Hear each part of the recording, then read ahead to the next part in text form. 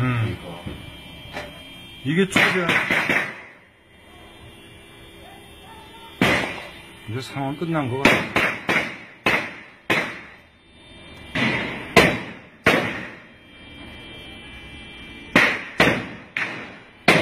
군인들, 군인들이 진입하는데